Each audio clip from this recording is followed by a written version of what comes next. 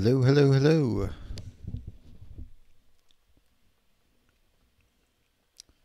Look at those beautiful tanks.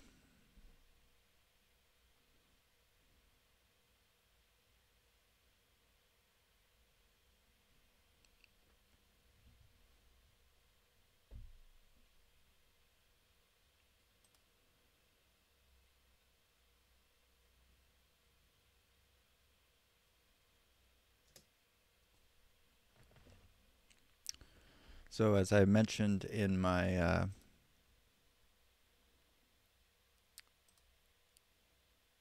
my little post in my Discord here, we're gonna talk about where did I put it? Oh yeah, today we're gonna sort out the defense of Pskov and look at the southern front. I also uh, posted today about a couple of rules that uh, probably should have looked at before we were playing all of these administrative changes. Um, in particular, we've got the leader ratings and what they actually mean. And uh, to be honest, I had not read these rules yet. Um, so it was a bit of an eye opener. Uh, political basically doesn't matter for our purposes. Um, yes, uh, I guess it could mean that they get executed at some point, but I guess that's the risk you got to take when you're a general. Uh, morale, though, that that's I knew it was impactful, but I didn't realize that it had a direct impact on combat value. So low morale generals, very bad. Definitely want to avoid those guys. Initiative is the one I already kind of knew about. Um, so initiative plays into two places. The first is if you're in combat and you're heavily outnumbered, you have a chance to change it into a probing attack, which incurs more of a, a like super light losses. You'll lose like 40 guys. And you can just you, you'll avoid those big like thousand man losses from being outnumbered or from testing out to see what enemy units in the next tile over which you have to do all the time because like i talked about last time you can't really fly recon.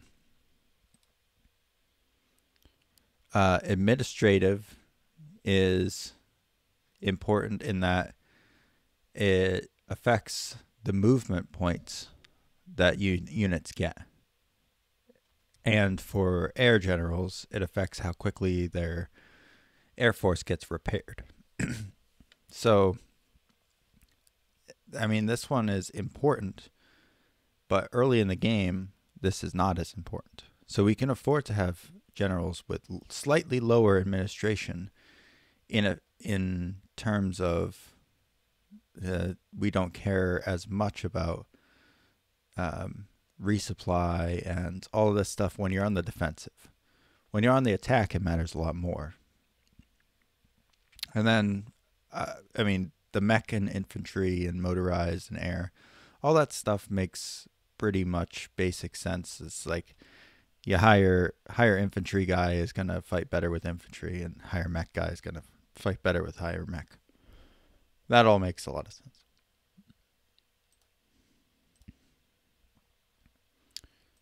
So then I took a look at what we were struggling with in the last episode the command points and the command capacity. Um, so, especially with the command capacity, I, I didn't really understand which units were contributing to that in which ways. And so basically, the the command capacity is a debuff when you're when you're over the command limit. It debuffs one on top of the normal uh, minus ten you get on your roll. You'll get an additional one for each uh, unit you're over your command limit. So if you're 10 over, you get an additional minus 10 on your roll. And I, I'm not probability guy, but I would assume that's like possibly hundred percent less effective. It's either hundred or fifty percent. I'm not sure which, but it's it's a big debuff. So you, we're gonna want to go back through the command capacity and try to get everyone back under that. Now, there's only so much we can do because uh, of the pockets just disrupting the command chain. Another big problem the Soviets have early on is that the corps have very low command limits. And you have a lot of corps, but they're not very good at, at actually fighting because their generals kind of suck. Um, now, one thing that it, it is important to realize that when you have multiple levels of generals, so if you have a corps and then an army and then a front and then headquarters, higher, higher, you can potentially have four rolls at any one leadership check, which is good. Um, so that that's one of the reasons that the Nazis are more effective early on is because they have um, those levels already set up.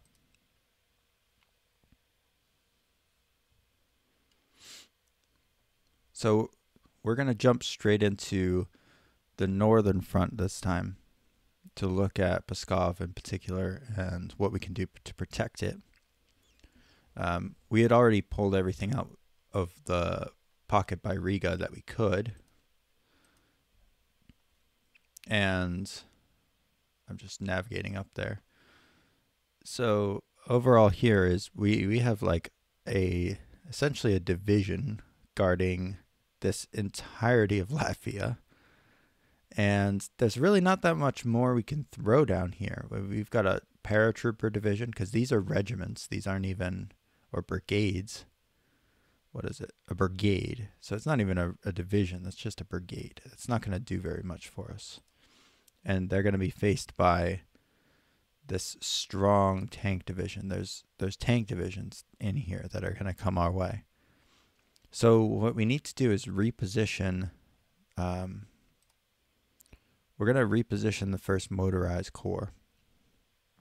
And we're going to move them down in this area right behind the river line, if we can. Uh, so he might already be in a good spot. I'm not sure how far all of our units can move. But we're going to look for everything that's under him. And it's so this tank division here is a good division. And I would love to get them all the way up here.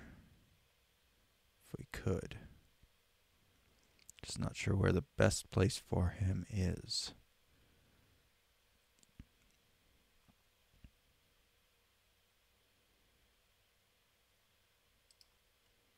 We'll put him down here.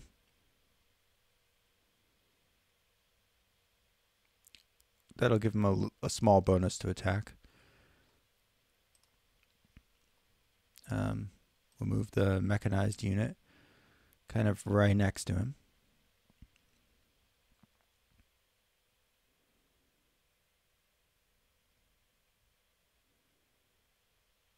Actually, this guy could get all the way down here. That's probably smarter. And basically, we're just going to leave a gap in between each of these guys. And that's okay because they have a zone of control. They, the enemy can't just drive right between them. He has to at least come into contact with them. We're probably going to be moving this headquarter up here. Because I believe, oh, this is not a Ardista. I think we're going to make this a depot, potentially. Unless this is. No, it's not. I think that's the best place for a depot, to be honest.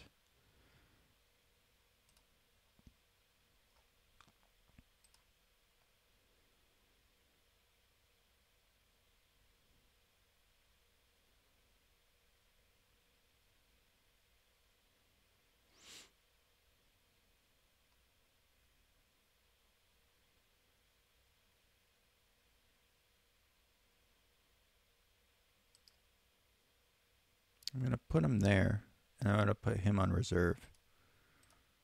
he might get committed. It's a very weak division, but he might be useful for something. I don't know what, but. And does this guy have anything else? No, he just has two units. Incredible.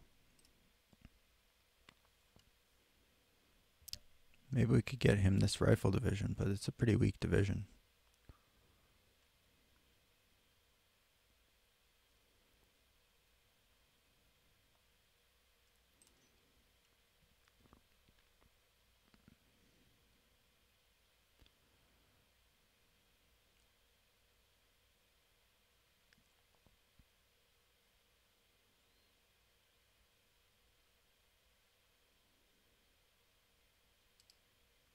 Rail it down to here.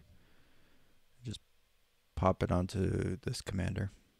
Because this commander is going to hold uh, basically this river line here.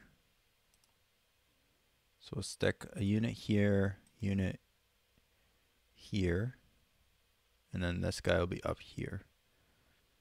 Hopefully I can find one more to stick over here, but maybe they won't get that far. That would be nice. Oops, I'm in rail mode. Okay, so we want unit here.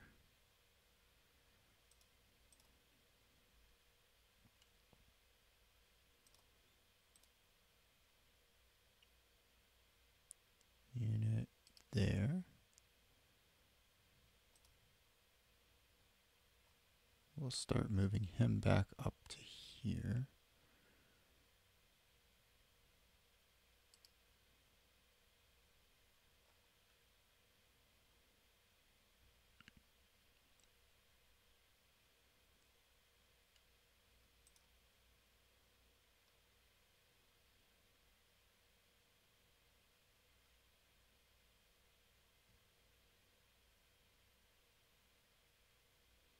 And we'll give this guy over to the 24th Rifle Corps as well.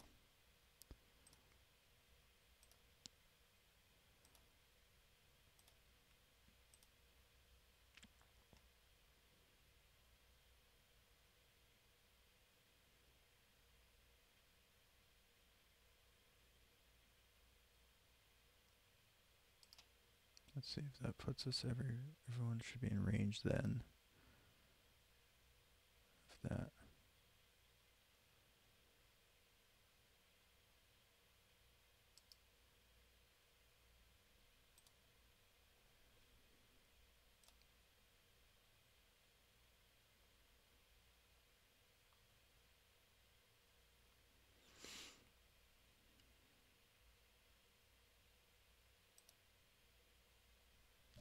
This is woods, right? Hmm. It says clear. Light woods. Okay. This is light woods. Swamp.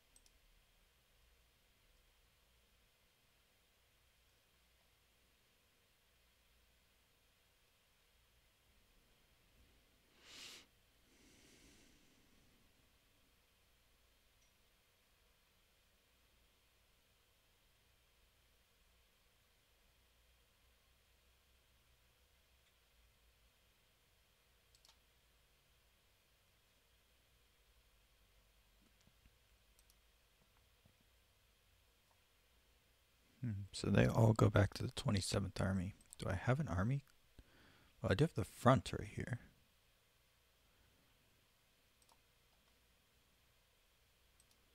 So that's something. If I stuck the motorized corps up here, so that's one, see, one, two, three, four. I wonder. I wonder if that could work with a depot there. Because then he would still be in range. Guess I could also do a depot here.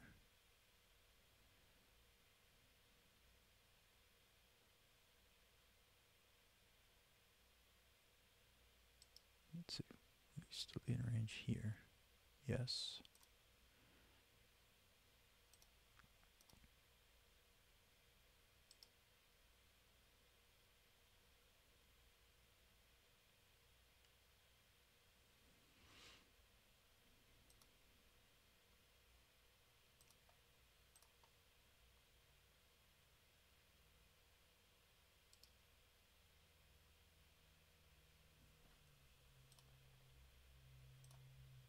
Just slap down a depot here.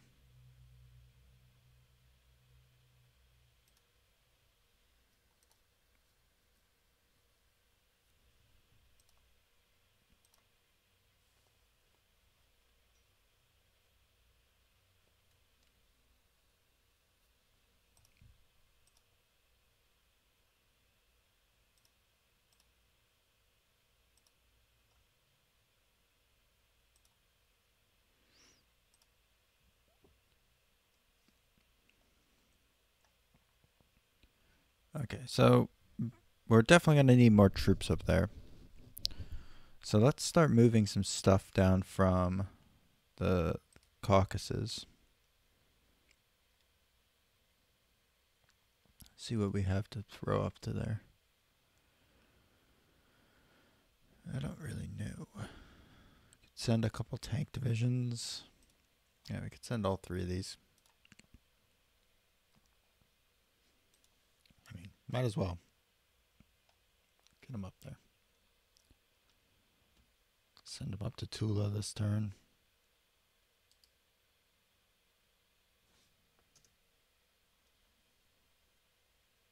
We'll just move the whole the whole 26 motorized corps up.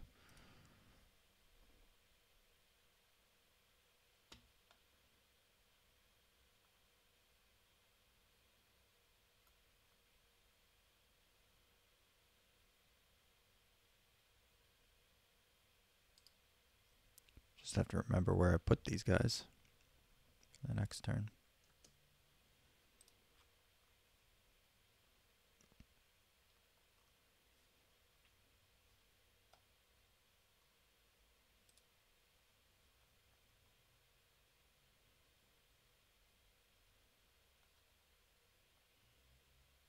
Put him all the way in Tula.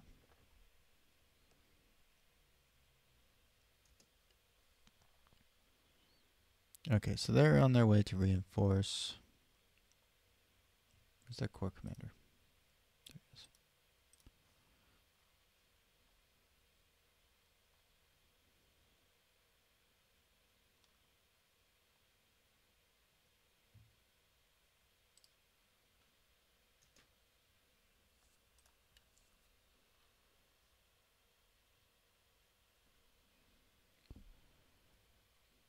So they'll end up in Pskov next turn, potentially.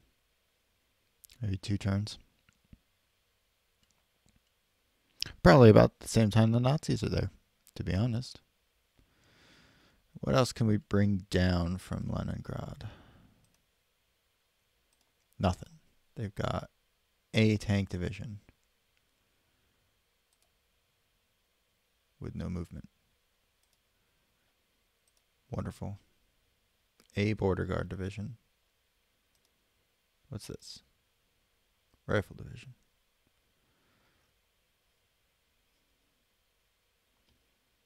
Mm, let's just start marching him up towards Pskov, I guess.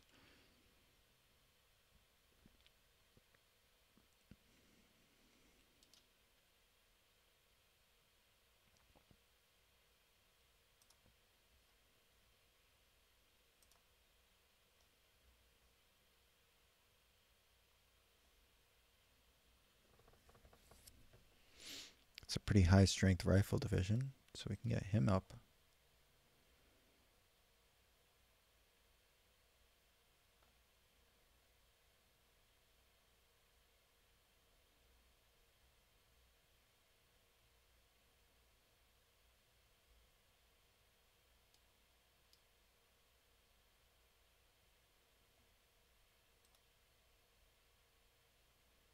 Where did I put that?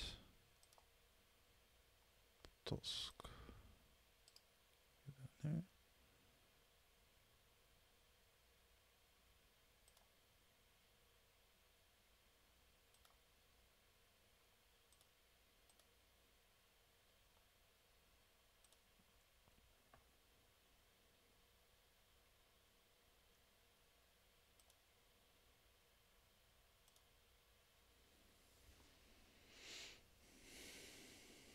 This is the area I'm really worried about right here.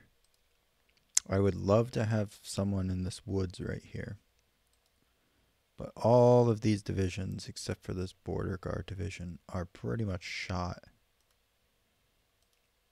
And they'll just get instantly destroyed by anything they face. But perhaps if I stacked all three,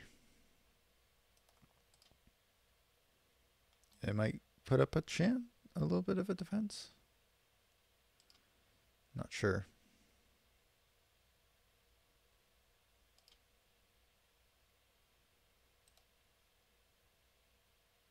It's worth a try.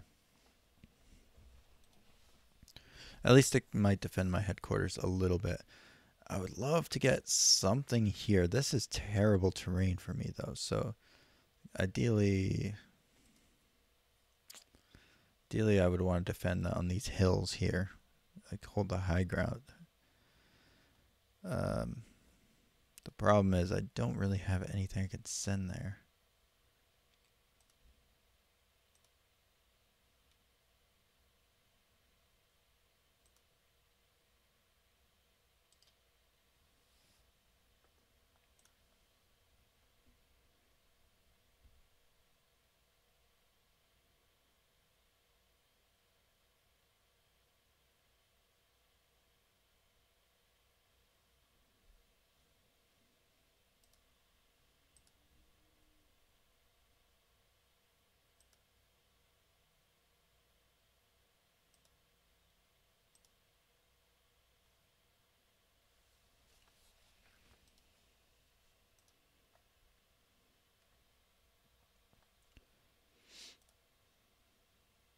Maybe they'll maybe they'll just be distracted trying to close that pocket, but I don't know.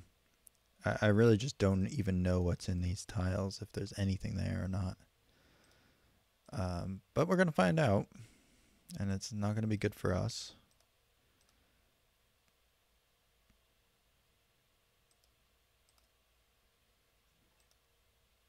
So, find out what happens there.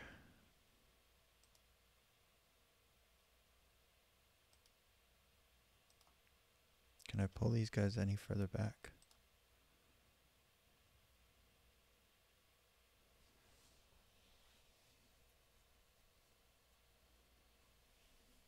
Who do they go to? The 16th Rifle Corps. Where are you? Trapped in the pocket? Yeah, trapped in a pocket. Beautiful. Love when they're trapped in the pocket.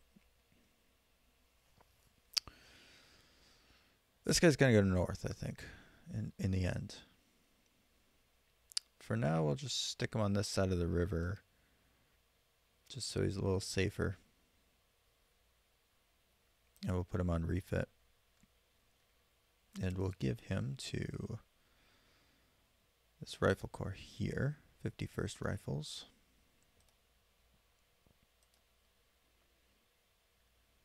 Fifty first. Am I blind? Fifty first. Uh, well, actually, the 51st Rifles are eventually going to go to the middle, so uh, it's the yellow guys we're going to send north.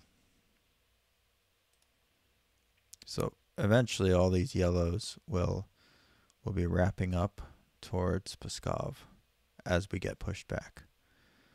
And so this this area here, we we don't have to defend it as heavily because it's got great defensive terrain. And what we're going to do is we're going to bring up another army right here to hold this area so Smolensk doesn't get encircled from the north. That's the idea, anyways. So we'll give ground and head north with this army, with the uh, 27th Army. And then we'll bring in uh, an additional army to defend this northern area above Smolensk. And that's probably going to be one of these, maybe the 28th Army. So we'll, we'll probably bring up the 28th Army to defend northern Smolensk. Basically, northern Belarus. And to try to prevent them from getting into Russia proper.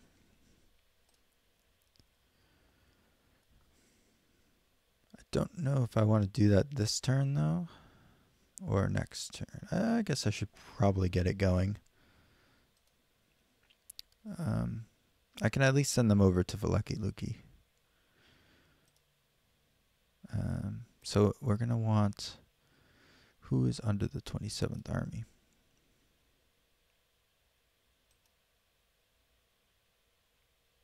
No one? Question mark? That is really weird. I don't really understand this. It's literally zero.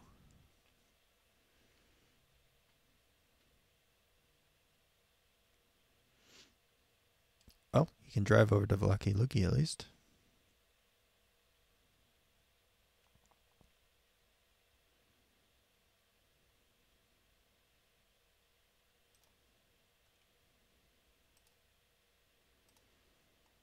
Who does the 7th motorized go back to?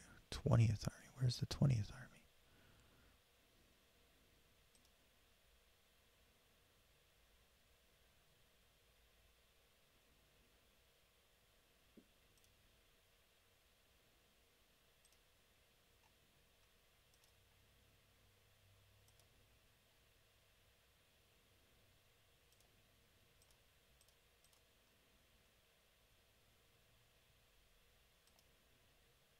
I don't even see the 20th Army.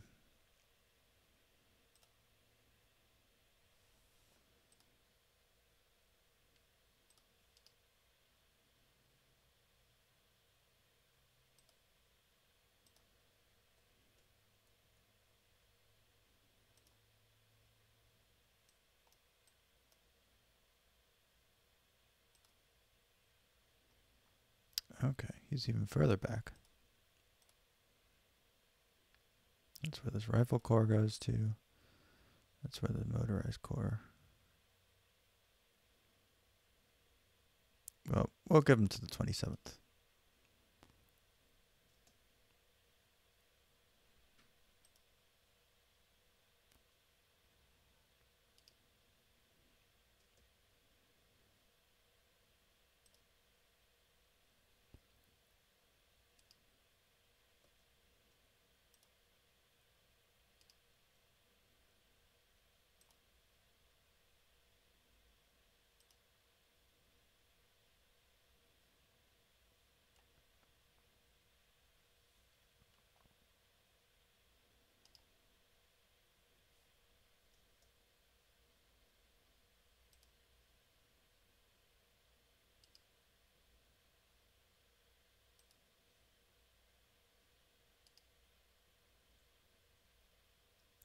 Just marching all these guys up.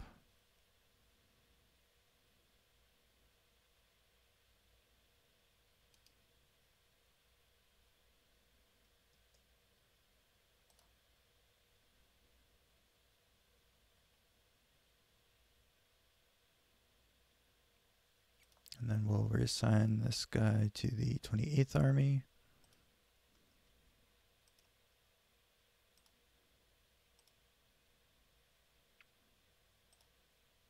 Assign you to the 28th Army.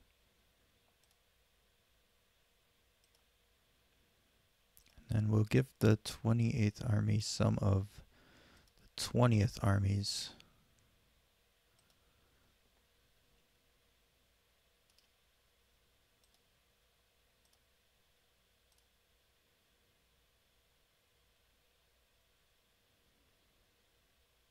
Uh, we can only push him up.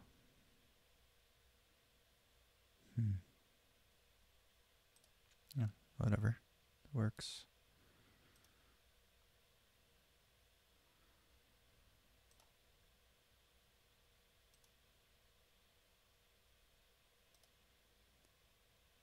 that actually gets done automatically. What I just did there was I sent a um, under strength support unit back to the Soviet reserves, but that actually gets uh, done as the first step of the logistics phase. You don't need to manually do that.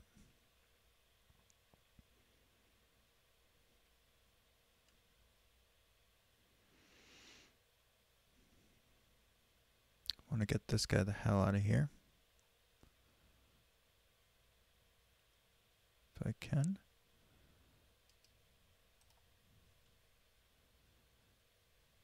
To give him to the nearest mechanized group.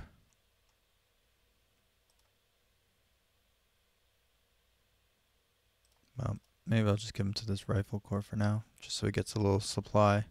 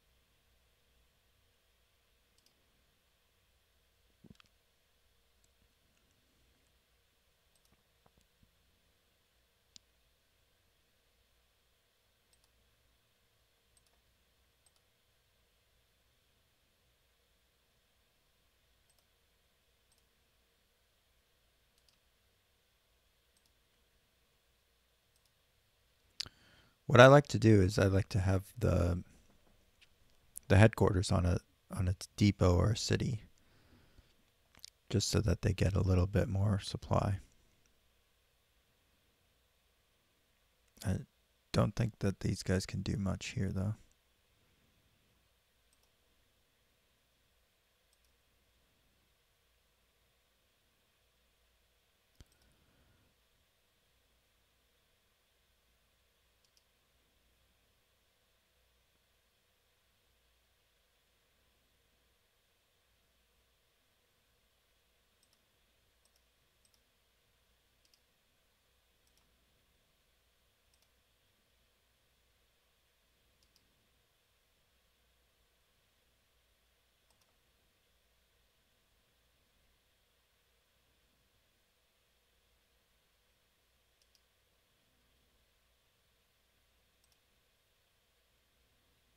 These are both wrecked.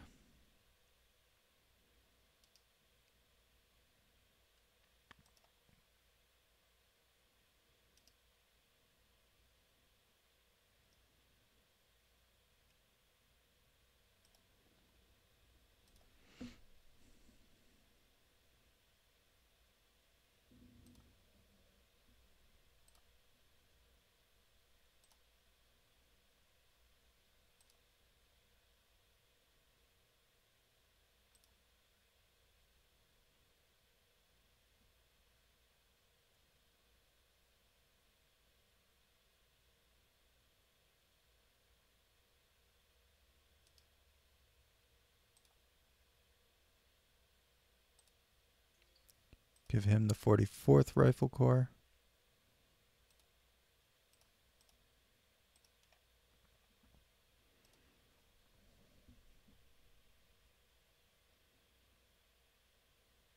Does he fit?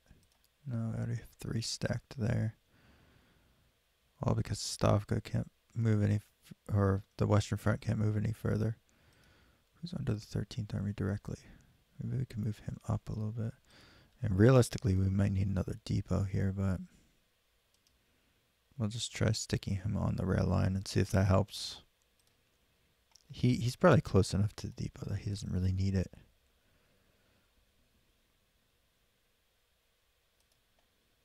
Not sure what's going to happen here.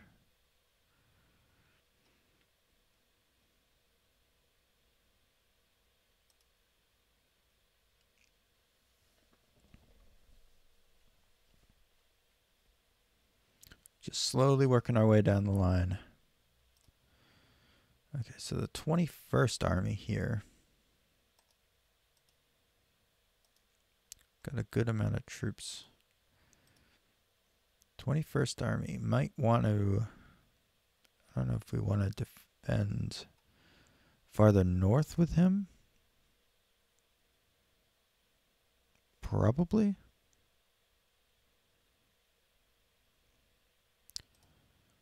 Well, first of all, let's at least reset the color of this guy to be white because we're going to use him in the center.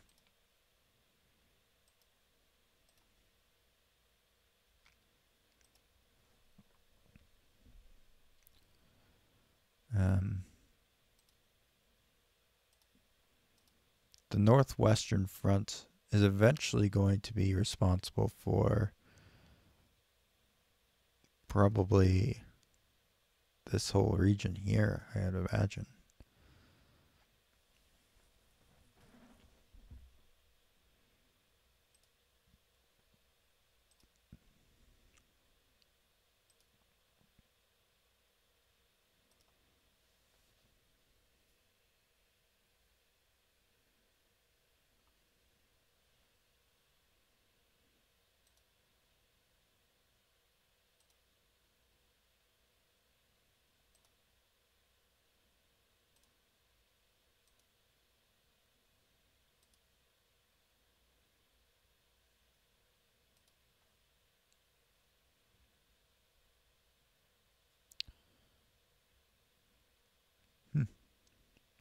Well, say that's about all I can get to today. It has to be kind of a short episode, but I feel like this defensive line up here might be okay. I mean, there's larger gaps than you would generally want if you had enough units to cover everything. But this is kind of terrain wise, we're set up pretty well, except for this this area here. So we just kind of have to hope to God that they'll take the bait and just hit us in this area. Because what they want to do is they want to get up to Leningrad. So the fastest route to that is just going right through all these guys. So hopefully that's what they try to do. Now they'll they'll succeed, but at least it'll slow them down. If they go to the right of that that little lake there, I don't even know what it's called in real life. It's called water in the game. so if they go to the right of the water, uh, we could be screwed because this isn't a real unit. This is just a, a machine gun uh, battalion. It's not a real unit.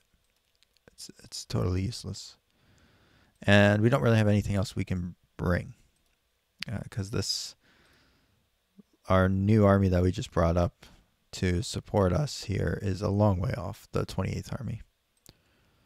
But eventually the 28th Army can, can get assigned to that front as well. Unless they end up getting collapsed back towards Moscow. Not sure exactly what will happen with them. Um, so next time the goal is going to be to get from here south. Uh, so we pretty much did Mogilev north, north and, and everything here is pretty solid, or at least as solid as we can get it on this turn. And then the the next time I play, I'm probably going to focus on this little group here, um, and then trying to sort out some of these uh, pink guys, because we had a good amount of guys getting circled here, which is very unfortunate. But I'm not sure if we can break them out in some way. I don't think so. So that's that's a big pain in the ass. Um, and again, we had a, few units getting circled here. But the good news is that we should be able to at least kind of stem the tide here. Uh, this is a really now overextended tank line. And so if we could sneak in and and hamper their efforts at all to capture one of these rail lines just for a turn, it can make a huge difference. So like this guy might be able to just drive up into that. Um, I mean, what we can do is use the cavalry, the broken down cavalry division, to at least scout it. Uh, they they don't see anything right there, so it's could be clear enough for us to defend it here.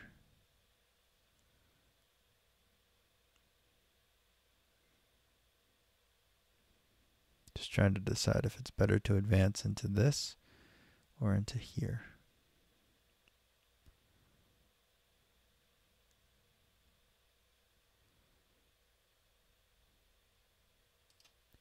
I'd say into Tarnopol. And then we'll bail this guy out back towards back this way.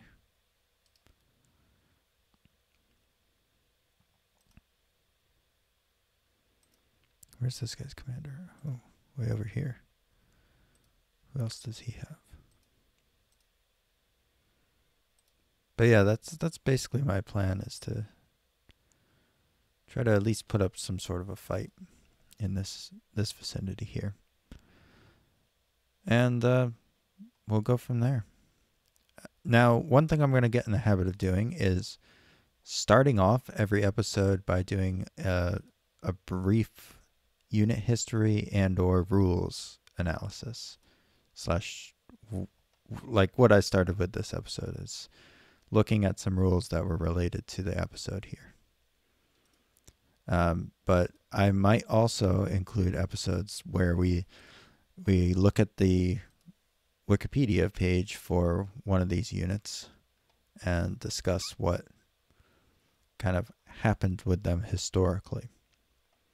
So, like this 28th Army that we just moved up, it was brought down from the Arkhangelsky military district and had two rifle corps and a motorized division. So, we're actually using it relatively historically. We're bringing it in. Um, so let's see where it got sent. Yeah, it got sent to Smolensk and it was encircled in the Smolensk pocket and destroyed. Hopefully, we uh, don't get destroyed, but if we do, at least we'll be matching its historical use. Um, very interesting that the general was killed by artillery fire. Um, and he was actually sentenced to death in absentia. So, so, and he, he wasn't, his name wasn't cleared until 1953. Well, I'm hoping we can do, do a l- little bit better than that for you, Buka, Perkev, Perkev, because he's actually not a bad general. He really is not. He's not terrible, especially with the infantry. He's a pretty damn good de- general. So, I would hate to lose him. But if he gets killed by artillery, he gets killed by artillery. That's all there is to it. Um, so that'll be our goal next time. We'll try to get all the way to the bottom. Um, and I'm not sure exactly what my plans are here in the very far south, but uh, this is this area is a lot less threatening early on because the Romanians are are not as strong as the Germans. Um, so I'm not going to agonize over every little move there. And I think a lot of these units are still locked anyways. If I remember right. Yeah, this I think this whole purple lilac color area is all locked. Yeah, none of these are movable. So we just kind of have to let it happen down here. So when we get to the end of the pink, that's the end of our turn. So we've got another two, three armies left to do. Um, because a, a lot of this this looks like a lot of units, but a lot of these are just the little fort units. Like see all the ones that are highlighted yellow here. We're not going to be doing anything with those. You can't move them; they're just useless. But they give you a kind of a cheat sheet of where some strong positions might be. Um, I mean, the problem in Ukraine in general, and this this is true today, and it was true in 1941, is the initial terrain is great tank country, and it's not until the weather kicks in that you can get bogged down.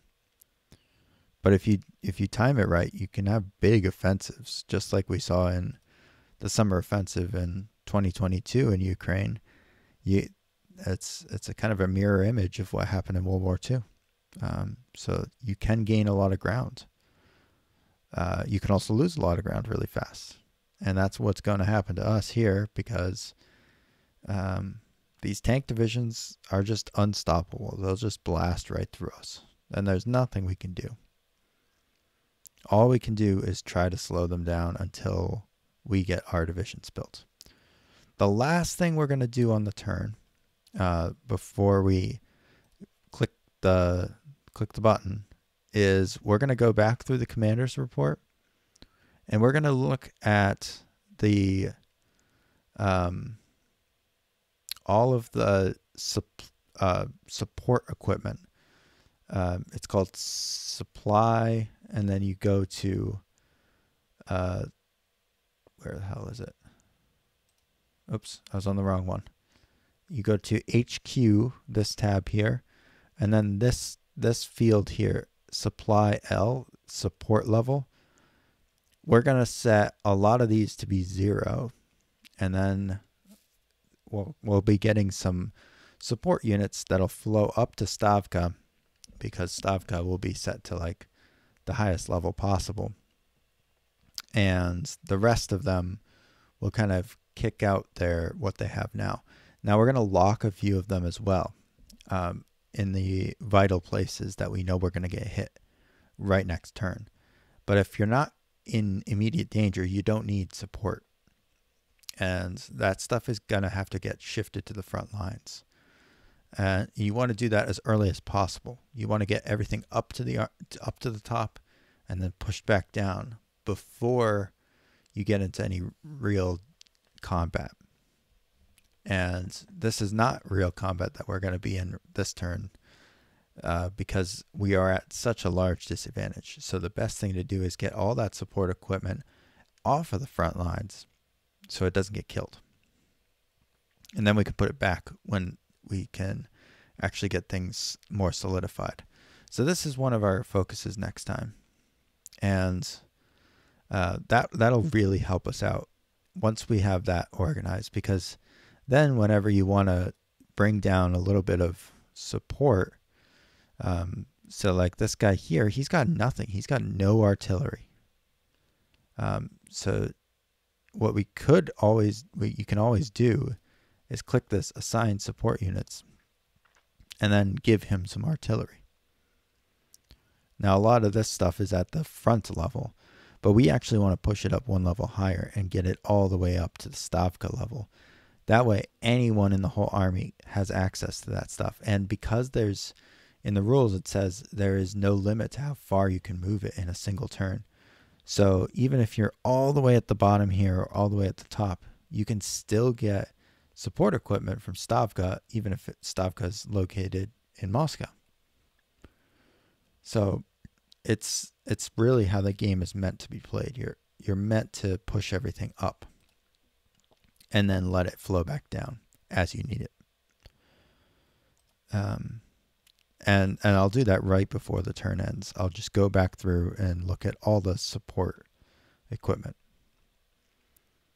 Um, but but this next turn is the the next play is just to set up our guys where we want them, then to make sure they have the equipment that they they need, and then after that we'll focus on getting them under the right commanders in the future turns because we're eventually going to run out of action points. Um, the one additional thing that you have to do as Soviets is you have to build new units. So we're going to be recruiting a whole bunch of divisions um, that will throw right in the front lines uh, pretty much as soon as they're built. And uh, that's that's basically the the goal. So I know it's it's somewhat brutal watching this because turn one is a long turn for the Soviets. It's it's a long turn for the Germans too, in some ways, because you want to try to get your pockets perfect. But as the Soviets, you are reorganizing your entire army after taking a devastating uh, amount of losses, like a quarter million men lost and another half a million in a pocket, in various pockets.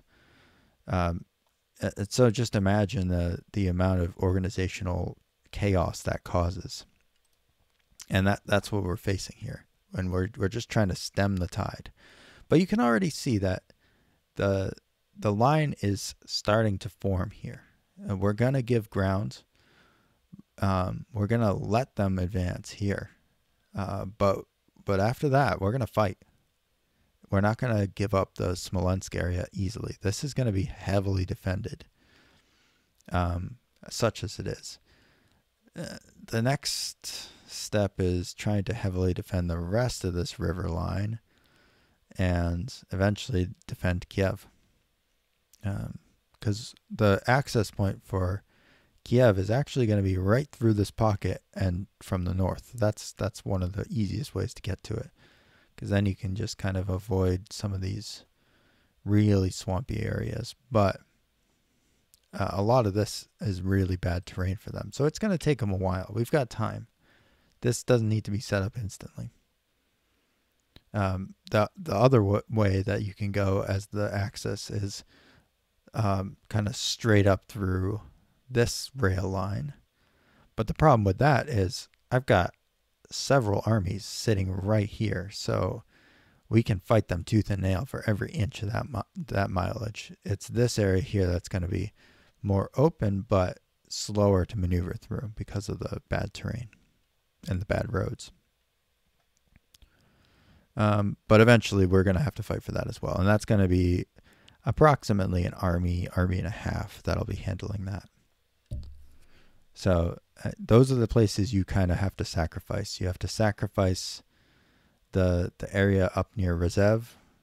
Uh, so this whole forest area, you have to hold it with less troops than you would like to, because you need everything near Smolensk and eventually near Tula and Moscow.